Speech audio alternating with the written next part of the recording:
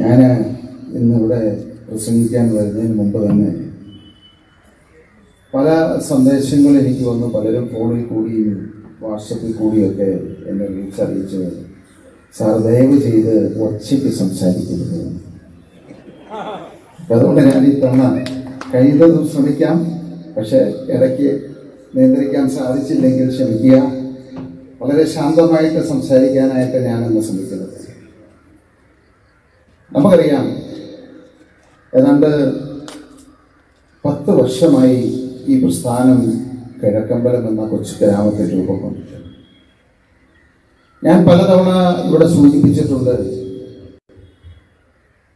ഞാനൊരു രാഷ്ട്രീയക്കാരനല്ല ഒരു വ്യവസായിയാണ്. ഒരു വ്യവസായിയുടെ ജോലി എന്ന് പറയുന്നത് വ്യവസായം നടത്തുക ലാഭമുണ്ടാക്കുക അമേരിക്കയിലോ യൂറോപ്പിലോ എവിടെയെങ്കിലുമൊക്കെ അടിച്ചു പൊളിച്ച് ജീവിക്കുക എന്നുള്ളതാണ്. എന്റെ ഞങ്ങൾ ക്രിസ്ത്യാനികളാണെങ്കിലും ചെറുപ്പത്തിൽ തന്നെ ഞങ്ങൾ ജാതകം എഴുതിയിട്ടുണ്ട്. ഞാൻ പ്രായമായപ്പോൾ കോളേജിൽ പഠിച്ചുകൊണ്ടിരിക്കുന്ന സമയത്ത് ആ ജാതകം എടുത്ത് വായിക്കുന്ന സമയത്ത് അതിലെഴുതിയിരിക്കുന്നു നീ ഒരു മധ്യ വയസ്സ് കഴിയുമ്പോൾ ഒരു പ്രവാചകനെ പോലെ നിന്റെ പ്രവൃത്തി ഈ ലോകത്തിന് അനുഭവമാകുമെന്ന്. ഞാൻ പല തവണ അത് ഇരുത്തി വീണ്ടും വീണ്ടും വായിച്ചു. എനിക്ക് അത് മാത്രം അങ്ങോട്ട് ദഹിച്ചില്ല. എങ്ങനെ ഒരു വ്യവസായിയുടെ മകൻ ഒരു പ്രവാചകനെ പോലെയാകും? പക്ഷെ ഇന്നത് യാഥാർത്ഥ്യമായിരിക്കുകയാണ്. നമുക്കറിയാം നമ്മുടെ ഈ ഭൂമിയിൽ നിങ്ങളെയും എന്നെയും ഒക്കെ സൃഷ്ടിക്കുമ്പോൾ ദൈവത്തിന് കൃത്യമായ പദ്ധതികളുണ്ട് പ്ലാനുകളുണ്ട്. നമ്മൾ വിചാരിക്കും ഈ പ്രപഞ്ചം സൃഷ്ടിച്ചപ്പോ ഇത് ഇപ്പൊ ഈ രണ്ട് ഇരുവശങ്ങളിലും ഒട്ടനവധി വൃക്ഷങ്ങൾ നിൽക്കുന്നുണ്ട്. നമുക്ക് തോന്നും ഈ വൃക്ഷങ്ങളൊക്കെ പാഴ്മരങ്ങളാണെന്ന് തോന്നും പലപ്പോഴും നമ്മൾ പാഴ്മരങ്ങളാണെന്ന് പറഞ്ഞതിനെ വെട്ടി നശിപ്പിക്കാറുണ്ട്. അപ്പോ ഈ പ്രപഞ്ചം ദൈവം സൃഷ്ടിച്ചപ്പോ ഒന്നും പാഴായിട്ട് ഇവിടെ സൃഷ്ടിച്ചിട്ടില്ല. ഈ ഭൂമിയിലുള്ള സകല ചരാചരങ്ങളും മണ്ണായിക്കോട്ടെ മണലായിക്കോട്ടെ വലിയ പാറകളായിക്കോട്ടെ മരങ്ങളായിക്കോട്ടെ മൃഗങ്ങളായിക്കോട്ടെ മനുഷ്യരായിക്കോട്ടെ ഒന്നിനെയും വെറുതെ ദൈവം സൃഷ്ടിച്ചിട്ടില്ല അതിന് ഒരു ഉദ്ദേശമുണ്ട്. പലപ്പോഴും വൃക്ഷങ്ങൾ നമ്മൾ പറയും പാഴ്മരങ്ങൾ പാഴ്വൃക്ഷമാണെന്ന് പറയുന്നത് അതിന്റെ ഉദ്ദേശം എന്താണ് ദൈവം കണ്ടിരിക്കുന്നത് എന്ന് മനുഷ്യർക്ക് മനസ്സിലാക്കാൻ സാധിക്കാത്തത് കൊണ്ടാണ്. ഇനിയും മനുഷ്യർ കണ്ടെത്താത്ത ഒട്ടനവധി കാര്യങ്ങൾ ഭൂമിയിലുണ്ട് ഈ പ്രപഞ്ചത്തിലുണ്ട്. നമ്മൾ ഓരോ മൃഗങ്ങളെയും നോക്കുക. ഏറ്റവും വലിയ മൃഗമാണ് ആന. അതുപോലെ ഏറ്റവും ചെറിയൊരു ജീവിയാണ് ഉറുമ്പ് അപ്പൊ നമ്മൾ വിചാരിക്കും ആനയ്ക്ക് അസാധ്യമായിട്ടുള്ള ഒരു കാര്യവും ഈ ഭൂമിയിലില്ല എന്ന്. എന്നാൽ ചെറിയ ഉറുമ്പിന് സാധ്യമായിട്ടുള്ള പല കാര്യങ്ങളും ഇല്ല എന്ന് നമ്മൾ വിചാരിക്കും. ഇവിടെയാണ് നമ്മൾ മനസ്സിലാക്കേണ്ടത്. ഇത്രയും വലിയ ആലിയുടെ മുമ്പിലേക്ക് നമ്മൾ ഒരു വലിയ മരം മുറിച്ചിട്ട് കൊടുത്തു കഴിഞ്ഞാൽ അതിന് നിഷ്പ്രയാസം അതിനെ അങ്ങോട്ട് നീക്കി വെക്കും. അതേ മരം തന്നെ നമ്മൾ ഉറുമ്പിന് മുന്നിലേക്ക് ഇട്ട് കഴിഞ്ഞാൽ ആ ഉറുമ്പിന് അതിന്റെ മുകളിൽ കൂടി അങ്ങോട്ടും ഇങ്ങോട്ടും നടക്കാനല്ലാതെ അതിനെ ഒന്ന് ചലിപ്പിക്കാൻ പോലും സാധിക്കില്ല. ഇനി ഒന്ന് അരി മണി എടുത്തിട്ട് ആനയുടെ മുമ്പിലേക്ക് ഇട്ട് കൊടുക്കുക ആ അരിമണി ആനയ്ക്ക് എടുക്കാൻ സാധിക്കില്ല? അതേ അരിമണി തന്നെ നമ്മൾ ഉറുമ്പിന് മുന്നിലേക്ക് ഇട്ട് കൊടുക്കുക ആ ഉറുമ്പ് വളരെ നിഷ്പ്രയാസം അതിനെ എടുത്ത് അതിന്റെ മാളത്തിൽ കൊണ്ടുപോയിരിക്കും ഇവിടെയാണ് നമ്മൾ സൃഷ്ടിയുടെ ശക്തി ദൈവത്തിന്റെ ശക്തി എന്താണെന്ന് നമ്മൾ മനസ്സിലാക്കേണ്ടത്. ഈ ഭൂമിയിൽ നിങ്ങളെയും എന്നെയും ഈ സകല മനുഷ്യരെയും ശ്രദ്ധിക്കുമ്പോൾ ദൈവത്തിന് വ്യക്തമായിട്ടുള്ള പദ്ധതികളുണ്ട് പ്ലാനുകളുണ്ട്. ഇവിടുത്തെ രാഷ്ട്രീയക്കാരെ ശ്രദ്ധിച്ചപ്പോ ദൈവം ഒന്ന് വിചാരിച്ചു ഈ നാട് കട്ടുമുടിപ്പിച്ച് കൊള്ളയടിച്ച് നശിപ്പിച്ച് അതിന്റെ അടിവേല ഒഴിക്കാനായിട്ടാണ് രാഷ്ട്രീയക്കാരോട് ശ്രദ്ധിച്ചത്. ശ്രീകൃഷ്ണൻ ഭഗവാൻ ശ്രീകൃഷ്ണനെ ശ്രദ്ധിച്ചപ്പോ ദൈവം ദൈവമല്ല ഭഗവാൻ എന്ന് തീരുമാനിച്ചു. ഹംസനെ വധിക്കാൻ ഹംസനെ വധിക്കാനായിട്ട് അവതാരം കൊണ്ടതാണ് ശ്രീകൃഷ്ണൻ എന്ന് തീരുമാനിച്ചു. അതുപോലെ തന്നെ ട്വന്റി ട്വന്റി ഇന്ന് മണ്ണിൽ രൂപം കൊണ്ടിട്ടുണ്ടെങ്കിൽ ഈ നമ്മുടെ രാജ്യത്തെ ഈ ഇവിടുത്തെ പാവപ്പെട്ട ജനങ്ങളെ കൊള്ളയടിച്ച് ചൂഷണം ചെയ്ത് കട്ടമുടിക്കുന്ന രാഷ്ട്രീയക്കാരെ ഇല്ലാതാക്കാനാണ് നിർമ്മാർജനം ചെയ്യാനായിട്ടാണ് എന്നുള്ളത് മനസ്സിലാക്കിക്കൊള്ളുക. പ്രിയപ്പെട്ടവരെ ഇവിടെ ഒരു പ്രസിഡന്റിനെ പുറത്താക്കിയ കാര്യം പറഞ്ഞു. ഇതാദ്യമായിട്ടല്ല ട്വന്റി ട്വന്റിക്ക് രണ്ടായിരത്തി പതിനഞ്ചിൽ കിഴക്കമ്പലം പഞ്ചായത്തിൽ അധികാരം ഏറ്റെടുത്തു. രണ്ടായിരത്തി പത്തൊൻപതിൽ നമ്മുടെ president C P I C P എമ്മിൽ നിന്ന് വന്ന ഒരാളായിരുന്നു. അയാൾ അഴിമതി നടത്തി. അയാളെ പുറത്താക്കാൻ തീരുമാനിച്ചു. അയാൾ അതുപോലെ തന്നെ പല ചരട് വരികളും തുടങ്ങി. അവിടെയുള്ള ബാക്കി മെമ്പർമാരെ സ്വാധീനിച്ച് അധികാരം നിലനിർത്താനായിട്ട് അവിശ്വാസ പ്രമേയം പരാജയപ്പെടുത്താനായിട്ട് ശ്രമിച്ചു. എന്നെ സംബന്ധിച്ച് ആദ്യമായിട്ടാണ് ഇതുപോലെയുള്ള ഒരു പ്രതിസന്ധിയിൽ കൂടി പോകുന്നത്. ഞാൻ പറഞ്ഞു വ്യവസായി ആൾക്ക് രാഷ്ട്രീയം ഒരിക്കലും അറിയില്ല. പലരും പറയുന്നു മൂന്ന് മെമ്പർമാർ വിട്ടുപോകും. അവിശ്വാസം നമുക്ക് പാസ്സാക്കാൻ സാധിക്കില്ല. ചിലർ പറയും അഞ്ച് മെമ്പർമാർ പോകും. പിറ്റേ ദിവസം രാവിലെ എല്ലാ മെമ്പർമാരോട് വരാൻ പറഞ്ഞു. എല്ലാവരോടും ഞാൻ പറഞ്ഞൊരു കാര്യമുണ്ട്. നിങ്ങളുടെ മനസാക്ഷിക്കനുസരിച്ച് നിങ്ങൾക്ക് തീരുമാനമെടുക്കാം. ഇനി നിങ്ങൾ മുഴുവനായിട്ട് കൂറ് മാറി. ജേക്കബ് വീണ്ടും പ്രസിഡന്റായി വന്നാലും ഞാൻ ദുഃഖിക്കില്ല. അതുകൊണ്ട് തീരുമാനം നിങ്ങളുടെയാണ്. ഞാൻ ഇന്ന് അമേരിക്കയിലേക്ക് പോകും. ഞാൻ അത് പതിവ് പോലെ അന്ന് തന്നെ അമേരിക്കയിലേക്ക് പോയി. അവിശ്വാസ പ്രമേയത്തിന് കാത്തു നിൽക്കാതെ ഒരു മെമ്പർ പോലും കിട്ടാതെ അവിശ്വാസത്തിന്റെ തലേ ദിവസം പ്രസിഡന്റ് രാജി സമർപ്പിച്ചു. ഇതേപോലെ തന്നെ രണ്ടായിരത്തി ഇരുപതിൽ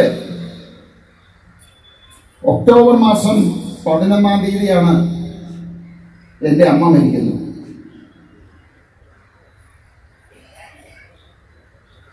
പഞ്ചായത്ത് ഇലക്ഷൻ ഡിക്ലെയർ ചെയ്തിരിക്കുകയാണ്. എല്ലാ സ്ഥലത്തും മത്സരിക്കണമെന്ന് തീരുമാനിച്ചിരിക്കുമ്പോഴാണ് ആ സംഭവം നടക്കുന്നത്. അന്നത്തെ അമ്മയുടെ ശവസംസ്കാരം കഴിഞ്ഞ് വൈകുന്നേരം ഇതുപോലെ തന്നെ ഉറങ്ങാൻ സാധിക്കുന്നില്ല. അന്ന് മനസ്സിൽ തീരുമാനിച്ചു. നമുക്ക് മുന്നോട്ട് പോകാൻ സാധിക്കില്ല. എനിക്ക് രാഷ്ട്രീയം വേണ്ട. കാരണം അന്ന് വരെയുള്ള ശക്തി എന്ന് പറയുന്ന അമ്മയായിരുന്നു. അപ്പോ അതില്ലാതെ ആ ഒരു തെരഞ്ഞെടുപ്പിനെ നേരിടുക എന്ന് പറയുന്നത് സാധിക്കില്ല എന്ന് എനിക്ക് തോന്നി. അന്നും ഇതുപോലെ തന്നെ ഉറങ്ങാതെ കിടന്ന് ഞാൻ തീരുമാനിച്ചു. പിറ്റേ ദിവസം എല്ലാ ആളുകളെയും വിളിച്ച് കൂട്ടുക. വാർഡ് കമ്മിറ്റികൾ കൂട്ടുക. എന്നിട്ട് പറയുക ട്വന്റി ട്വന്റി പ്രസ്ഥാനം പിരിച്ചുവിടുകയാണ്. എനിക്ക് മുന്നോട്ട് പോകാൻ നിങ്ങളെ നയിക്കാനായിട്ടുള്ള ശക്തി എനിക്കില്ല. എന്ന് പറയണമെന്ന് വിചാരിച്ച് ഇതുപോലെ തന്നെ ഉറങ്ങാൻ ശ്രമിക്കുക സാധിച്ചില്ല. പിറ്റേ ദിവസം കമ്മിറ്റി വിളിച്ചു. ഒരു പഞ്ചായത്തിന് പകരം അഞ്ച് പഞ്ചായത്തുകളിലേക്ക് വ്യാപിപ്പിക്കാനായിട്ട് തീരുമാനമെടുത്തു. അങ്ങനെയാണ് കുന്നത്തുനാടിന് മഴുവന്നൂരും ഐക്കനാട് മെമ്മോറിയലും മത്സരിക്കാൻ തീരുമാനിച്ചത്. അപ്പൊ പ്രിയപ്പെട്ടവരെ നമ്മൾ ദൈവത്തെ കാണുന്നത് സീരിയലിലും സിനിമയിലും ഒക്കെ ദൈവം നേരിട്ട് പ്രത്യക്ഷപ്പെടാറുണ്ട്. പക്ഷെ ജീവിതത്തിൽ ഒരിക്കലും ദൈവം നേരിട്ട് പ്രത്യക്ഷപ്പെടാറില്ല അവിടെ ദൈവം അടയാളങ്ങളിൽ കൂടിയാണ് മനുഷ്യരെ നയിക്കുന്ന അടയാളങ്ങളിൽ കൂടി. ഞാൻ ഈ രണ്ട് സംഭവം വ്യക്തമായിട്ട് പറഞ്ഞു. ഈ പത്ത് വർഷത്തിനുള്ളിൽ എന്റെ ജീവിതത്തിൽ ദൈവം ഒരുപാട് പരീക്ഷണങ്ങൾ എന്നിൽ നടത്തി. എന്റെ സത്യസന്ധത എന്റെ ആത്മാർത്ഥത എന്റെ ചങ്കൂറ്റം എന്നെ പല രീതിയിൽ പരീക്ഷണം നടത്തി. അതിൽ ഒന്ന് രണ്ട് കാര്യം മാത്രം ഞാനിവിടെ പറയാൻ ഉദ്ദേശിക്കുകയാണ്. ഒരു ദിവസം ഭക്ഷ്യസുരക്ഷാ മാർക്കറ്റിന് മുന്നിൽ എല്ലാ ദിവസവും ഓഫീസ് കഴിയുമ്പോൾ ഞങ്ങൾ എല്ലാവരും അവിടെ ഇരിക്കും. ആ മുന്നിലുള്ള ഭാഗത്ത് കസേരയിട്ടിരിക്കുന്ന സമയത്ത് അവിടുത്തെ മാനേജർ ഒരു വയസ്സായ ഒരു സ്ത്രീ ഒരു എഴുപത്തഞ്ച് വയസ്സുണ്ടാവും. അവരുടെ കൂടെ അവരുടെ മകൾ ആന്ന് തോന്നിക്കുന്ന ഒരു സ്ത്രീ പത്ത് നാൽപ്പത് വയസ്സുണ്ടാവും. അവരെ എക്കത്ത് മുക്കളെ കൊൽപ്പിച്ച ഒരു കുട്ടി. താഴത്ത് രണ്ട് കുട്ടികൾ വളരെ മുഷിഞ്ഞ് കീറിയ ഒരു സാരി ആ സ്ത്രീ എടുത്തിരിക്കുന്ന മകൾ അമ്മയും മകൻ. ഇവർ രണ്ടുപേരെയും കൂട്ടി എന്റെ അടുത്തേക്ക് വരികയാണ്. അപ്പോ അതിനു മുമ്പ് ഒരു മാസം മുമ്പ് അവിടെ ഒരു കുടുംബശ്രീകളുടെ ഒരു സമ്മേളനം നടന്നു. ആ സമ്മേളനത്തിൽ അന്ന് പങ്കെടുത്തവർക്കൊക്കെ ഒരു ഗിഫ്റ്റ് കൂപ്പൺ കൊടുത്തിരുന്നു കിഴക്കമ്പലം പഞ്ചായത്തിൽ മാത്രം. അപ്പോ ഈ പറയുന്ന സ്ത്രീയും അവിടെ വന്നു വന്നിരുന്നു. അവർക്കും കൂപ്പൺ കിട്ടി. ആ കൂപ്പൺ ഭക്ഷ്യസുരക്ഷാ മാർക്കറ്റിൽ കൊടുത്തു കഴിഞ്ഞാൽ ഒരു ഫ്രൈയിങ് പാൻ കിട്ടും അലുമിനിയത്തിന്റെ അനാലുമിനിയത്തിന്റെ അപ്പൊ ഈ അമ്മ എന്ന് പറയുന്ന അവരുടെ കൂടെ വന്ന മകൾ ഈ കൂപ്പണുമായിട്ട് ഫ്രൈങ് പാൻ മേടിക്കാൻ വന്നതാണ്.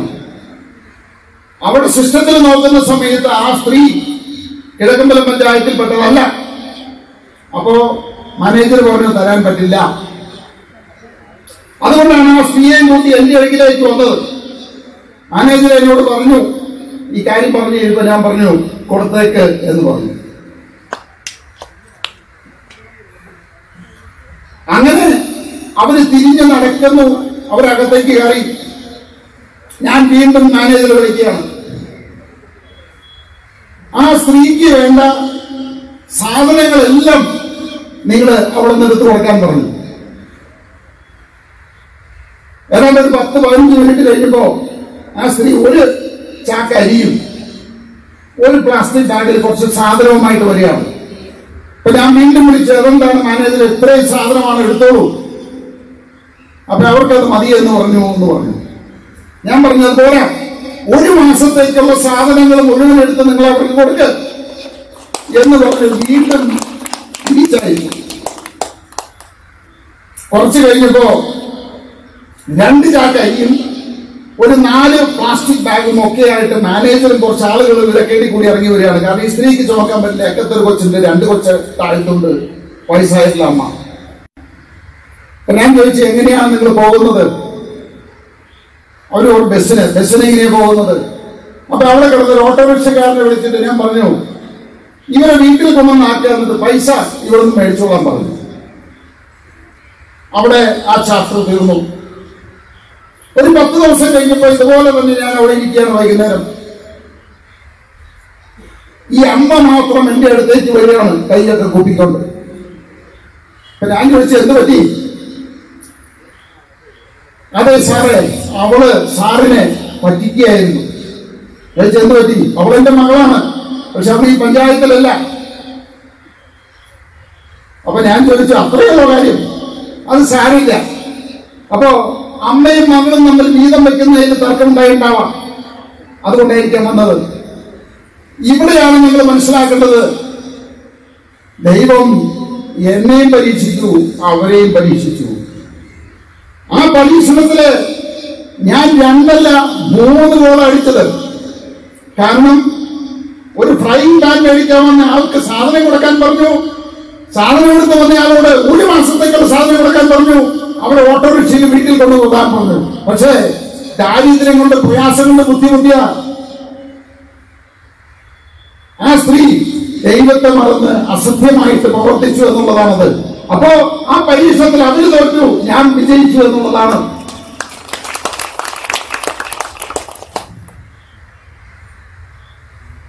ഇതുപോലെ തന്നെ ഒരു ദിവസം ഞാൻ വീട്ടിലിരിക്കുമ്പോ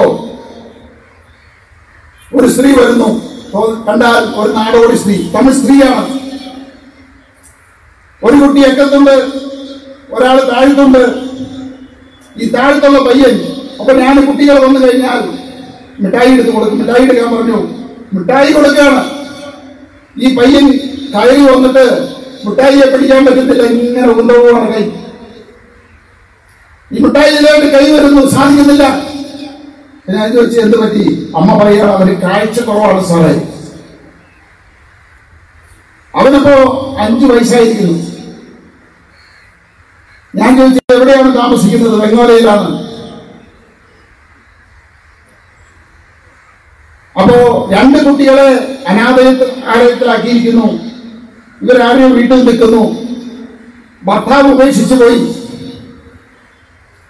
പിറന്നപ്പോ തന്നെ കണ്ണിന് അസുഖമുള്ളതായിട്ട് കണ്ടെത്തി. ഓപ്പറേഷൻ ചെയ്യണമെന്ന് പറഞ്ഞു പൈസ ഉണ്ടായില്ല ഓരോ ദിവസവും അവന്റെ കാഴ്ച നശിച്ചുകൊണ്ടിരിക്കുകയാണ്.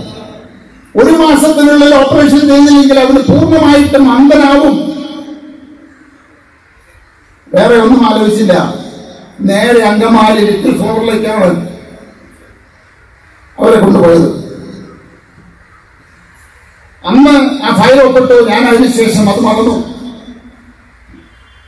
ഏതാണ്ട് ഒരു വർഷം കഴിഞ്ഞപ്പോ അമ്മയും സ്ത്രീയും കൂടി വന്നു. ഞാൻ ഓർക്കുന്നില്ല പഴയ കഥ. ഇതുപോലെ മിഠായി എടുത്തു ഈ പയ്യനെ കണ്ടപ്പോ അവർ ഓടിച്ചാടി വന്ന് എന്റെ കയ്യിൽ മിഠായി മരിച്ചു ആ സ്ത്രീ പറഞ്ഞു കാഴ്ച കിട്ടി സാറേ കാഴ്ച തിരിച്ചു കിട്ടി. അപ്പൊ ഇവിടെയാണ് നമ്മൾ മനസ്സിലാക്കുന്നത്. ദൈവം നിങ്ങളെയും എന്നെയും ശ്രദ്ധിക്കുമ്പോ ഓരോരുത്തർക്കും വ്യക്തമായിട്ടുള്ള പദ്ധതികളുണ്ട്. അങ്ങനെ ഒരു പദ്ധതിയാണ് എന്നെ ഏൽപ്പിച്ചിരിക്കുന്നത്. ആ പദ്ധതി കൊണ്ടാണ് ഞാനിന്ന് നിങ്ങളുടെ മുമ്പിൽ നിൽക്കുന്നതും നിങ്ങളെല്ലാവരും എന്റെ മുമ്പിൽ ഇരിക്കുന്നതും.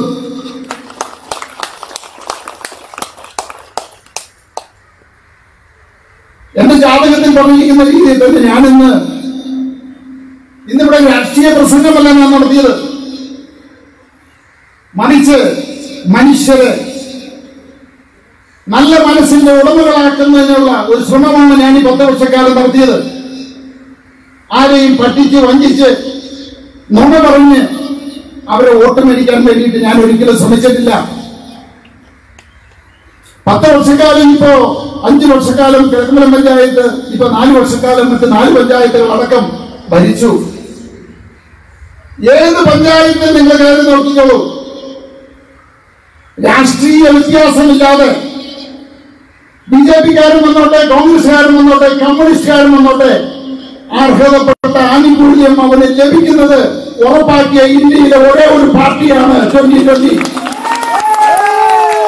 രാഷ്ട്രീയത്തിന്റെ അടിസ്ഥാനത്തിലോ ജാതിയുടെ അടിസ്ഥാനത്തിലല്ലോ അവിടെ തീരുമാനങ്ങൾ എടുക്കുന്നത്. ജനങ്ങൾക്ക് അർഹതപ്പെട്ട ആനുകൂല്യങ്ങൾ അവരുടെ കയ്യിലെത്തിക്കാനായിട്ടുള്ള ശ്രമമാണ് ഞാൻ നടത്തിയത്. കിഴക്കപ്പുരം പഞ്ചായത്ത് ഭരണമേറ്റെടുക്കുമ്പോൾ പതിമൂന്ന് ലക്ഷം രൂപ കടമുണ്ടായിരുന്നത് ഇരുപത്തിരണ്ട് കോടി രൂപ നീക്കിയിരിപ്പ് ഇപ്പൊ ബാങ്കിലുണ്ട്. ഐക്യനാട് പഞ്ചായത്തിന് അറുപത് ലക്ഷം രൂപ കടമുണ്ടായിരുന്നു. പുതിയ പഞ്ചായത്ത് നാല് വർഷമായിട്ടുള്ളൂ. അഞ്ചു വർഷം കഴിക്കുമ്പോ പന്ത്രണ്ട് കോടിയെങ്കിലും നീക്കിയിരിപ്പ് വെച്ചിട്ട് ഭരണം അവസാനിപ്പിക്കൂ. കുന്നത്തുനാട് പഞ്ചായത്ത് ഏതാണ്ട് മുപ്പത്തിയഞ്ച് വർഷം എൽ ഡി എഫ് ഭരിച്ചു. കഴിഞ്ഞ ഇരുപത് വർഷക്കാലം യു ഡി എഫ് ഭരിച്ചു. അവിടെ പോയിട്ടുള്ളവർക്കറിയാം ഈ കഴിഞ്ഞ ഇരുപത് വർഷക്കാലം മനുഷ്യർക്ക് കയറി ചെല്ലാവുന്ന ഒരു ഓഫീസായിരുന്നില്ല കുന്നത്തുനാട് പഞ്ചായത്ത്. ഇന്ന് മനുഷ്യർക്ക് കയറാവുന്ന പഞ്ചായത്തായി മാറി ആർക്കും അവിടെ കയറി അവിടെ മെമ്പർമാർ നിങ്ങളെ കാത്തിരിക്കുന്നു. നിങ്ങളുടെ കാര്യങ്ങൾ അന്വേഷിക്കാൻ നിങ്ങളുടെ കാര്യങ്ങൾ നടപ്പിലാക്കി അത് എത്തിക്കേണ്ട സ്ഥലത്ത് എത്തിക്കാൻ വേണ്ടിയിട്ട്. പ്രിയപ്പെട്ടവരെ നമുക്കറിയാം മഴവണ്ണൂരും കുന്നത്തുനാടും ജനങ്ങളുടെ പ്രതീക്ഷയ്ക്കനുസരിച്ച് ട്വന്റി ട്വന്റിക്ക് ഉയരാൻ സാധിച്ചിട്ടില്ല അത് സത്യമാണ്. കാരണം പതിനെട്ട് മെമ്പർമാരിൽ പതിനൊന്ന് മെമ്പർമാരാണ് ഉണ്ടായിരുന്നത്. ഒരാൾ കൂടി പോയി പത്ത് മെമ്പർമാരെ ഉള്ളൂ. അവിടെ ഇരിക്കുന്ന സെക്രട്ടറി പോലെ എല്ലാ ഉദ്യോഗസ്ഥന്മാരും സി പി എമ്മിന്റെയും കോൺഗ്രസിന്റെയും ബി ജെ പിയുടെയും ആളുകളാണ്. ഒരു ഭാഗത്ത് എം എൽ എ ഈ പ്രസ്ഥാനത്തെ തകർക്കാൻ നമ്മൾ ചെയ്യുന്ന പ്രവൃത്തികളെ തകർക്കാൻ നമ്മൾ ചെയ്യുന്ന ക്ഷേമ പ്രവർത്തനങ്ങളെ കുറച്ചു കാട്ടാൻ വേണ്ടിയിട്ട് എം എൽ എ മന്ത്രിമാര് മുഖ്യമന്ത്രി അടക്കം ഒരു ഭരണകൂടം മൊത്തമായിട്ട് ട്വന്റി ട്വന്റി ആക്രമിച്ചിട്ടും അതിനെയെല്ലാം സധൈര്യം നേരിട്ടുകൊണ്ട് ഈ നാല് വർഷം ഇതുവരെ ഈ അമ്പത്തിയഞ്ച് വർഷക്കാലം എൽ ഡി എഫും യു ഡി എഫും ഭരിച്ചതിനേക്കാൾ നൂറിരട്ടി ഭംഗിയായിട്ട് നടത്താൻ സാധിച്ചു എന്നുള്ളത് അഭിമാനത്തോടെ ഞാൻ പറയുകയാണ്. അപ്പോ പ്രിയപ്പെട്ടവരെ നിങ്ങൾ കിഴക്കമ്പലം പഞ്ചായത്തിൽ പത്തൊമ്പത് സീറ്റിൽ പതിനെട്ട് സീറ്റാണ് നമുക്കുള്ളത്. തീരുമാനങ്ങൾ എടുക്കാൻ നടപ്പിലാക്കാൻ വളരെ എളുപ്പം നമുക്ക് സാധിക്കും. ഐക്യനാട് പതിനാല് സീറ്റിൽ പതിനാല് സീറ്റ് തന്നു. അവിടെ അതുകൊണ്ടാണ് പന്ത്രണ്ട് കോടി രൂപയുടെ നീക്കിയെടുപ്പ് നമുക്ക് കൊണ്ടുവരാൻ സാധിക്കുന്നത്. അപ്പൊ നിങ്ങളെല്ലാവരും മനസ്സിലാക്കണം. ട്വന്റി ട്വന്റിയെ ഇനി അടുത്ത തെരഞ്ഞെടുപ്പിൽ വരുമ്പോൾ ഒരു പക്ഷേ നൂറുകണക്കിന് അല്ലെങ്കിൽ ആയിരക്കണക്കിന് പഞ്ചായത്തുകളിൽ ട്വന്റി ട്വന്റി മത്സരിച്ചിരിക്കാം. പക്ഷേ നിങ്ങൾ തീരുമാനിക്കണം. ഈ കേരളത്തിൽ ഒരു മാറ്റം ഉണ്ടാകണം. ഇവിടെ പഞ്ചായത്ത് ഭരിച്ചില്ല പഞ്ചായത്ത് കിട്ടിയില്ല. ഇപ്പൊ നമ്മൾ എം എൽ എ ആയിട്ടൊന്ന് മത്സരിച്ചു കഴിഞ്ഞ തവണ. എട്ട് മണ്ഡലങ്ങളിൽ മത്സരിച്ച ഒരു സ്ഥലത്തും ജനങ്ങൾ ജയിപ്പിച്ചില്ല കഴിഞ്ഞ പാർലമെന്റ് തെരഞ്ഞെടുപ്പിൽ രണ്ട് സ്ഥലത്ത് മത്സരിച്ചു രണ്ട് സ്ഥലത്ത് വിജയിപ്പിച്ചില്ല. അവിടെയൊക്കെ രാഷ്ട്രീയ കള്ളന്മാർക്കും കൊള്ളക്കാർക്കുമാണ് വോട്ട് ചെയ്തത്. ഇപ്പോ ജയിച്ചിട്ട് ആറ് മാസമായില്ലേ? ഇതിനു മുമ്പ് അഞ്ചു വർഷം വിജയിപ്പിച്ചില്ലേ? ബെന്നി ബഹനാന്? അഞ്ചു പൈസയുടെ പ്രയോജനം ഉണ്ടായോ ഉണ്ടായില്ല. ഇനി അഞ്ചു പൈസയുടെ പ്രയോജനം ഉണ്ടാകുമോ? അതുണ്ടാകാൻ പോകുന്നില്ല. അപ്പോ ജനങ്ങൾ നിങ്ങൾ ചിന്തിക്കണം. ഈ പ്രസ്ഥാനം എനിക്ക് വേണ്ടിയിട്ടുള്ളതല്ല. ഇരിക്കുന്ന ആർക്കും വേണ്ടിയിട്ടല്ല. ഈ പ്രസ്ഥാനം ഇവിടുത്തെ പാവപ്പെട്ട സാധാരണക്കാരുടെ ഉന്നമനത്തിന് വേണ്ടി മാത്രമാണ്. അഴിമതി കൊണ്ടും കൊള്ള കൊണ്ടും കള്ളത്തരം കൊണ്ടും നാട് കട്ടുപിടിപ്പിക്കുന്ന രാഷ്ട്രീയക്കാരെ പുറത്തിറക്കിക്കൊണ്ട് കേരളത്തിലെ മൂന്നര കോടി വരുന്ന ജനങ്ങളെ രക്ഷിക്കാൻ വേണ്ടിയിട്ടാണ് ഞാൻ ഈ തൊള്ളക്കേറി സംസാരിക്കുന്നത്.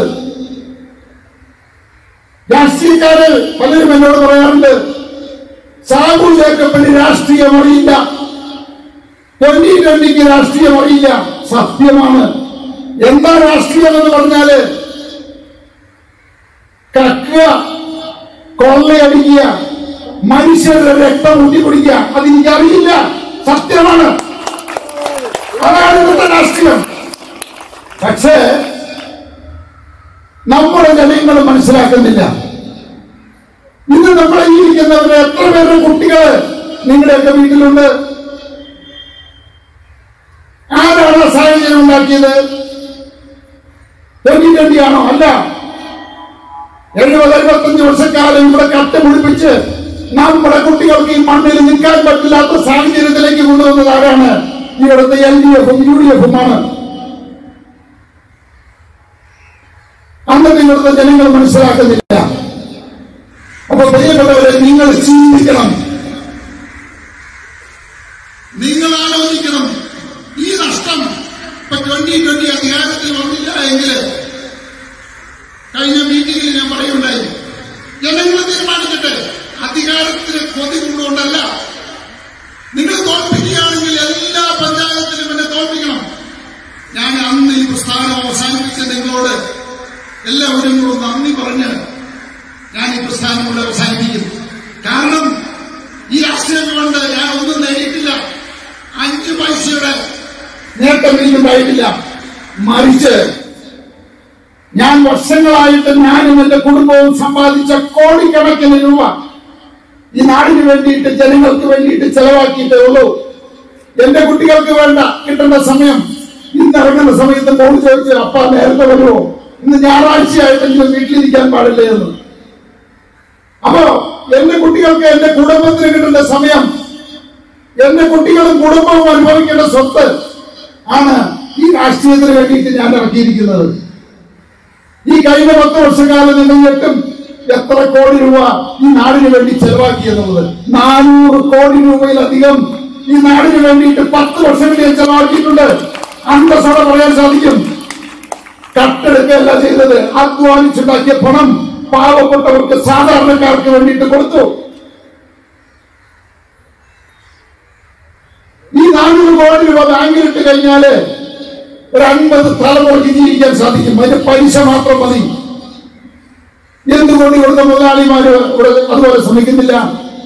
ഇന്ന് നമുക്കറിയാം ട്വന്റി ട്വന്റി അധികാരത്തിൽ വരുന്നത് ഏറ്റവും ഇഷ്ടപ്പെടാത്ത ആളുകൾ ആരാണെന്ന് അറിയോ? ഇവിടുത്തെ ഭൂമാഫിയകൾ ബ്ലേഡ് മാഫിയകൾ പാടമുടക്കാൽ ഇവിടുത്തെ വ്യവസായികൾ. ഐക്യനാട് പഞ്ചായത്തിന് സിനിമയ്ക്ക് മാത്രം എത്ര കോടി രൂപയുടെ നികുതി തട്ടിപ്പാണ് നടത്തിയിരിക്കുന്നത് പ്ലാനിൽപ്പിച്ച് അവിടെ നികുതി തട്ടിപ്പ് നടന്നിട്ടുണ്ട്? കോലഞ്ചേരി മെഡിക്കൽ മെഷീൻ ഏതാണ്ട് മുപ്പതിനായിരം സ്ക്വയർ ഫീറ്റ് ആണ് അനധികൃതമായിട്ട് നിർമ്മിച്ച് നികുതി അടയ്ക്കാതെ ഇരുന്നത്. കാരണം എന്താണ്? രാഷ്ട്രീയക്കാർ പോയി ഇവരുടെ പൈസ മേടിക്കും. അനധികൃതമായിട്ട് വർഷങ്ങളായിട്ട് നികുതി അടയ്ക്കാതെയാണ് ഈ സ്ഥാപനങ്ങളൊക്കെ പ്രവർത്തിച്ചുകൊണ്ടിരുന്നത്. ഇപ്പോ കോടതിയിൽ പോയിട്ട് അവരെ കൊണ്ടൊക്കെ നികുതി കെട്ടിക്കാനായിട്ടാണ് ഇപ്പോ ട്വന്റി ട്വന്റി ശ്രമിച്ചുകൊണ്ടിരിക്കുന്നത്. അത് നികുതി കെട്ടിക്കുക തന്നെ ചെയ്യും. ഒരാൾക്കും ഒരു വൃത്തി വിഷയം ഉണ്ടാവില്ല. അപ്പോ ഇൻഫ്രാ പാർക്ക് അവിടെ വ്യവസായികളാണുള്ളത്. എല്ലാവരുടെ അടുത്തും പോയി ഇടത് വലത് വ്യത്യാസമില്ലാതെ പൈസ മേടിക്കും. എന്നിട്ട് നികുതി ഒഴിവാക്കി കൊടുത്തു. കോടതിയിൽ പോയി ഉത്തരവ് പഠിച്ചു. മൂന്ന് കോടി അൻപത് ലക്ഷം രൂപയുടെ ഡിമാൻഡാണ് ഇപ്പൊ കൊടുത്തിരിക്കുന്നത് എല്ലാ വ്യവസായികൾക്കും. അപ്പൊ പ്രിയപ്പെട്ടവരെ നിങ്ങൾ മനസ്സിലാക്കും ഈ പ്രസ്ഥാനത്തിന്റെ നേതൃത്വത്തിൽ ഞാനിരിക്കുന്നുണ്ടെങ്കിൽ ഈ പ്രസ്ഥാനത്തിലുള്ള ഒരാളും അല്ലെങ്കിൽ ട്വന്റി പഠിക്കുന്ന ഒരു സ്ഥാപനത്തിലും അഴിമതി നടത്താൻ ഒരാളെയും അനുവദിക്കില്ല. അങ്ങനെ ആരെങ്കിലും അഴിമതി നടത്തിയാൽ അവന്റെ സ്ഥാനം അറബിക്കടലിലായിരിക്കും. രണ്ട് പ്രസിഡന്റുമാരെ തൂത്തറിന്റെ പാർട്ടിയാണ്. ട്വന്റി ട്വന്റി അപ്പൊ അതുകൊണ്ട് നിങ്ങൾ എല്ലാവരും ചിന്തിക്കണം പ്രാർത്ഥിക്കണം. എന്നെ വിശ്വസിക്കണ്ട. നിങ്ങളുടെ മുമ്പിൽ നിന്ന് ഇതുപോലെ രാഷ്ട്രീയക്കാര് പ്രസംഗിക്കും. അത് കേട്ടിട്ട് അവരെ വിശ്വസിച്ച് മുന്നോട്ട് പോയാൽ പട്ടിണിയാകുന്നത് നിങ്ങളുടെ കുടുംബങ്ങളായിരിക്കും. നശിക്കുന്നത് നിങ്ങളുടെ അടുത്ത തലമുറയായിരിക്കും നിങ്ങളുടെ കുട്ടികളായിരിക്കും. അത് മാത്രം ഓർമ്മ വേണം. നിങ്ങളും ഞാനും കൂടി ശ്രമിക്കുന്നത് ഈ നാടിനെ രക്ഷിക്കാൻ വേണ്ടിയിട്ടാണ്. ഈ നാട്ടിലെ പാവപ്പെട്ട സാധാരണക്കാരെ രക്ഷിക്കാൻ വേണ്ടിയിട്ടാണ്. ഈ കേരളത്തിലെ മൂന്നര കോടി ജനങ്ങളെ രക്ഷിക്കാൻ വേണ്ടിയിട്ടാണ്. ഞാൻ വിശ്വസിക്കുന്നു. വ്യവസായിയായ എന്നെ രാഷ്ട്രീയക്കാരനാക്കിയെങ്കിൽ അതൊരു ദൈവ നിയോഗമാണ്.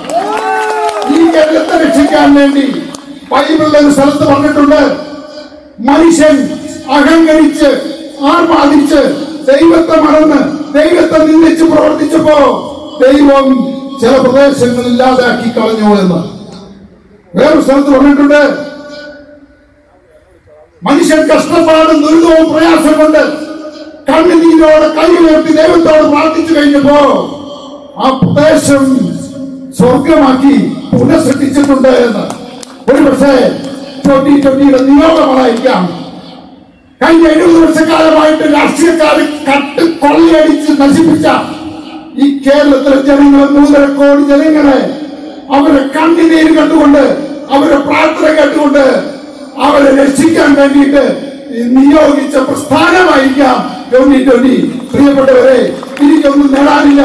നിങ്ങൾ അതുകൊണ്ട് വരുന്ന ഇലക്ഷനിൽ പാർലമെന്റിലായിക്കോട്ടെ അസംബ്ലിയിലായിക്കോട്ടെ ഉറച്ച തീരുമാനമെടുക്കണം.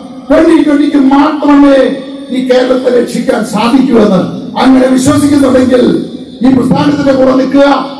നിങ്ങൾ എന്റെ പിന്നിൽ ഉണ്ടെങ്കിൽ തീർച്ചയായിട്ടും ഞാനും നിങ്ങളുടെ കൂടെ ഉണ്ടാകും. നിങ്ങളുടെ മുന്നിൽ തന്നെ ഉണ്ടാകും. ഇനി മറിച്ച് നിങ്ങൾ എല്ലാവരും തീരുമാനിക്കുകയാണ്. കേരളത്തിലെ ജനത തീരുമാനിക്കുകയാണ്. ട്വന്റി ട്വന്റി വേണ്ട. പഞ്ചായത്തും ഭരിക്കണ്ട സംസ്ഥാനവും ഭരിക്കണ്ട.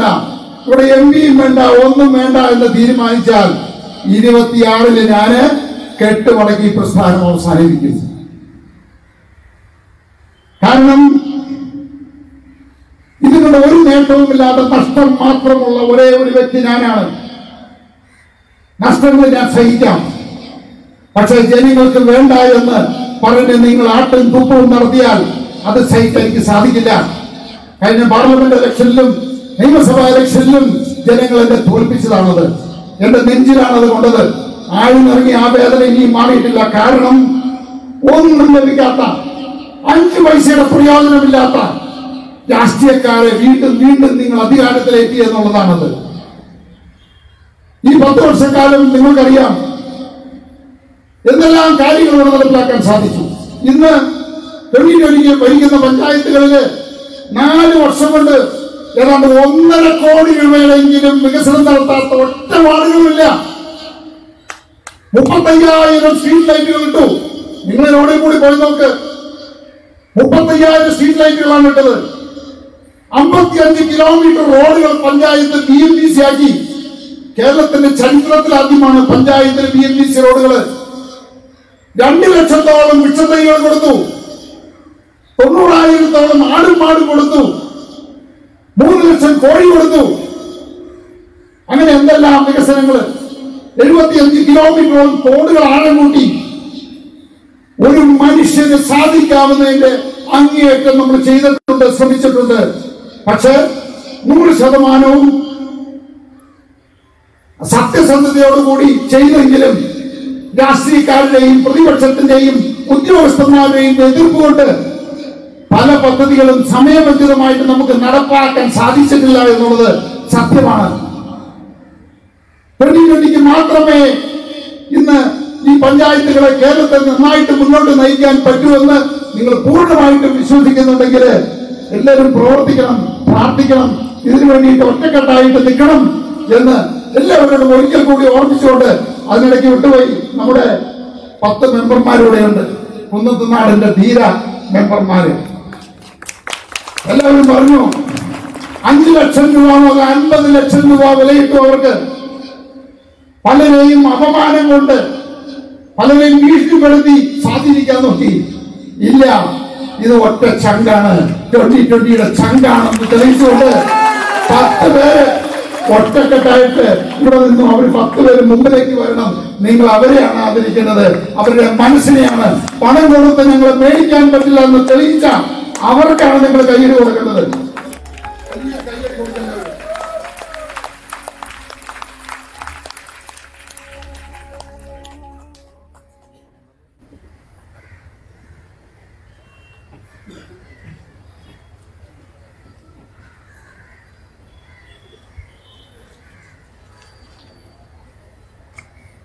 ഈ കഴിഞ്ഞ ആഴ്ചകളിലെ പല ചർച്ചകളും നടന്നു. പലരും പറഞ്ഞു ഇപ്പോ പല എന്നെ വിളിക്കുന്ന ആളുകൾ പലരും പറഞ്ഞു ട്വന്റി ട്വന്റി അല്പം പുറകോട്ട് പോയി എന്ന് തോന്നുന്നു. എന്റെ പ്രസംഗങ്ങളോ അല്ലെങ്കിൽ എന്റെ വീഡിയോകളോ വാട്സപ്പുകളോ ഒന്നും കാണുന്നില്ലായിരുന്നു. ശരിയാണ്. കാരണം കഴിഞ്ഞ പാർലമെന്റ് തെരഞ്ഞെടുപ്പിൽ സംഭവിച്ചത് എന്താണെന്ന് നിങ്ങൾക്കറിയാം. ഞാനിപ്പോ പാർട്ടിയിൽ വൈസ് പ്രസിഡന്റ് സ്റ്റേറ്റ് കമ്മിറ്റി ഉണ്ട് ഡിസ്ട്രിക്ട് കമ്മിറ്റി ഉണ്ട് നിയോജക മണ്ഡല കമ്മിറ്റി ഉണ്ട് ഏതാണ്ട് ഇരുപത് മണ്ഡലങ്ങളിൽ നമുക്ക് ഓഫീസുകളായി കഴിഞ്ഞു. വലിയ രീതിയിൽ സംഘടന മുന്നോട്ട് പോകുന്നുണ്ട് ഞാൻ രണ്ട് സംഭവം നിങ്ങളോട് പറഞ്ഞു. ഒന്ന് ഭക്ഷ്യസുരക്ഷാ മാർക്കറ്റിലുണ്ടായത് രണ്ട് എന്റെ വീട്ടിൽ വന്നുണ്ടായത്. ഇത് രണ്ട് സംഭവങ്ങളാണ്. ഇതുപോലെ ആയിരക്കണക്കിന് സംഭവങ്ങൾ എന്റെ ജീവിതത്തിൽ ഉണ്ടായിട്ടുണ്ട്. ഒരു മനുഷ്യൻ മനുഷ്യനാണോ എന്ന് അറിയുന്നെങ്കിൽ നമ്മുടെ മുന്നിൽ വന്ന് ഒരുത്തൻ അവന്റെ സങ്കടം പറയുമ്പോൾ അത് നമ്മുടെ സങ്കടമായിട്ട് മാറുന്നുവെങ്കിൽ തീർച്ചയായിട്ടും അവൻ മനുഷ്യനാണ് എന്നുള്ളതാണ്. അങ്ങനെ പത്ത് വർഷക്കാലം മനുഷ്യനായിട്ട് മനുഷ്യനേക്കാൾ വലിയ മനുഷ്യനായിട്ടാണ് ഞാൻ ജീവിച്ചത്.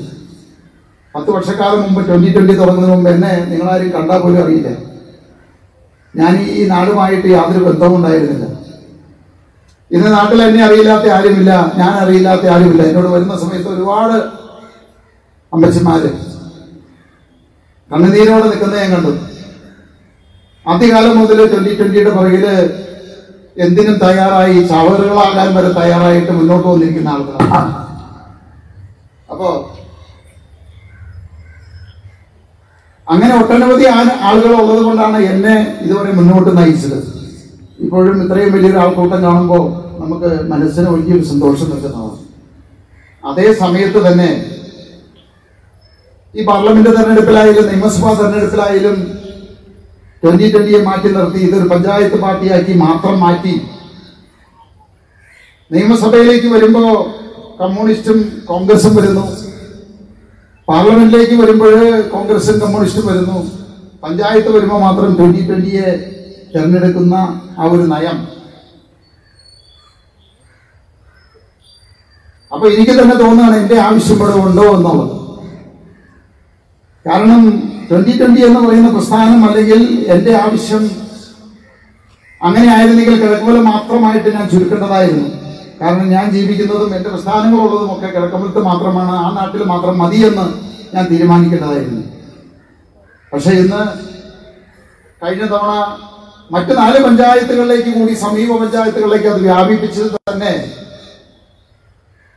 ഈ പ്രസ്ഥാനത്തിന്റെ എന്റെ സേവനം കൂടുതൽ ആളുകൾക്ക് കിട്ടണമെന്നുള്ള ഉദ്ദേശത്തോടുകൂടിയാണ് അപ്പൊ നിങ്ങളെല്ലാവരും കൂടി തീരുമാനിക്കണം.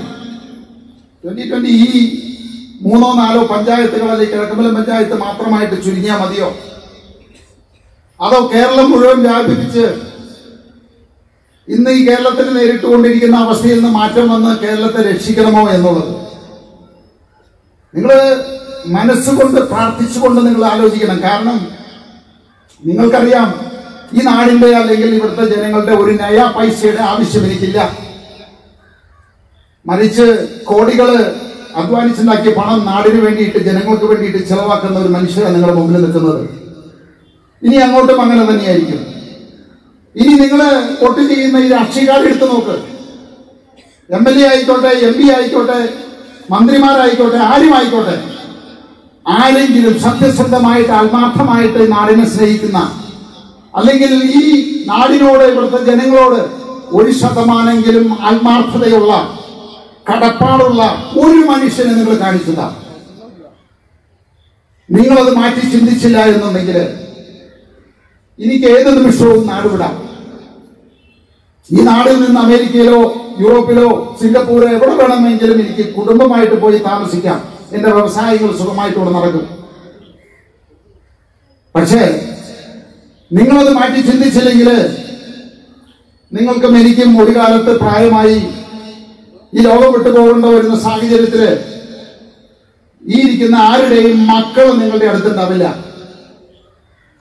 ഒരാൾ പോലും ഒരു തുള്ളി വെള്ളം വായിലൊഴിച്ച് തരാൻ നിങ്ങളുടെ സമീപത്തുണ്ടാവില്ല. അവരെ അവസാനമായിട്ടൊന്ന് കണ്ടുകൊണ്ട് കണ്ണടയ്ക്കാൻ നിങ്ങൾക്ക് സാധിക്കില്ല എന്നുള്ള സത്യം നിങ്ങൾ പൂർണമായിട്ട് നിങ്ങളുടെ മനസ്സിലേക്ക് നിങ്ങളുടെ മനസ്സിലുണ്ടാകണം. അതുണ്ടായാൽ മാത്രമേ നിങ്ങൾക്ക് സാധിക്കൂ. മറിച്ച് കമ്മിയും കൊമ്മിയും കള്ളന്മാരും കൊള്ളക്കാരും മാത്രം മതി ഇവിടെ. ഈ നാട് കട്ടുമുഴി കുടിപ്പിച്ചോട്ടെ നശിപ്പിച്ചോട്ടെ നമ്മുടെ കുട്ടികൾ കഞ്ചാവടിച്ചോട്ടെ മയക്കമരുന്നടിച്ചോട്ടെ അവർ നശിച്ചു പോയിക്കോട്ടെ എന്ന് നിങ്ങൾ വിചാരിച്ചു കഴിഞ്ഞാൽ അത് നിങ്ങളുടെ ഇഷ്ടം. നശിക്കാൻ ഈ നാട് ഇവിടുത്തെ ജനങ്ങൾ തീരുമാനിച്ചാൽ ആർക്കും രക്ഷപ്പെടുത്താൻ സാധിക്കില്ല. ദൈവം തമ്പുരാന് പോലും രക്ഷപ്പെടുത്താൻ സാധിക്കില്ല. നിങ്ങൾക്ക് തന്നെ വിശ്വാസമുണ്ട്? ഈ പാർട്ടിയെ വിശ്വാസമുണ്ടെങ്കിൽ ഇതിൽ കൂടി കേരളത്തിൽ ഒരു മോചനം ഉണ്ടാകുമെന്ന് വിശ്വാസമുണ്ടെങ്കിൽ ഉറച്ചതിന് നിൽക്കുക. പഞ്ചായത്തല്ല നിയമസഭയല്ല പാർലമെന്റ് അല്ല എല്ലാത്തിലും ഞങ്ങൾ ട്വന്റി ട്വന്റിയോടൊപ്പമാണ് എന്ന് നിങ്ങൾ തെളിയിക്കുക. തീർച്ചയായിട്ടും ആ വാശിയോടുകൂടി മുന്നോട്ട് പോയാൽ ഈ പ്രസ്ഥാനം ഉണ്ടാവും. മറിച്ച് നിങ്ങൾ വീണ്ടും പഞ്ചായത്തിൽ ട്വന്റി ട്വന്റിക്ക് അധികാരം തന്ന് നിയമസഭയിലേക്ക് വരുമ്പോ കമ്മിയെയും കൊമ്മിയെയും ഏൽപ്പിച്ച് അങ്ങനെ ഒരു ഭരണത്തിൽ മുന്നോട്ട് പോകാൻ ഈ പാർട്ടിക്ക് താല്പര്യമില്ല. തീർച്ചയായിട്ടും ട്വന്റി സിക്സ് ഇരുപത്തിയാറിൽ മത്സരം ട്വന്റി ട്വന്റിയെ സംബന്ധിച്ച് ഇനി അങ്ങോട്ട് മുന്നോട്ട് പോകണമോ വേണ്ടയോ എന്നുള്ള ഒരു പരീക്ഷണമായിരിക്കും. അപ്പോ ഈ പ്രസ്ഥാനം ഈ മണ്ണിൽ ഉണ്ടാകണം ഈ കേരളത്തെ രക്ഷിക്കണമെന്ന് ആത്മാർത്ഥമായിട്ട് നിങ്ങളുടെ കുട്ടികളെ രക്ഷപ്പെടണമെന്ന് നിങ്ങൾ ആത്മാർത്ഥമായിട്ട് മനസ്സിൽ ആഗ്രഹിക്കുന്നുണ്ടെങ്കിൽ നിങ്ങൾ ഇതിനോടൊപ്പം നിൽക്കും. ഈ പ്രസ്ഥാനത്തോടൊപ്പം നിൽക്കും. ഈ പ്രസ്ഥാനം കേരളത്തിന്റെ ഭരണത്തിലേക്ക് വരുന്ന ഒരു സാഹചര്യം ഇവിടുത്തെ ജനങ്ങൾ ഉണ്ടാക്കും. അതിനുവേണ്ടി പ്രാർത്ഥിക്കണം. അതിനുവേണ്ടി എല്ലാവരും പ്രവർത്തിക്കണം എന്ന് കൂടി ഒരിക്കൽ പറഞ്ഞുകൊണ്ട് നിർത്തുന്നു. നന്ദി നമസ്കാരം.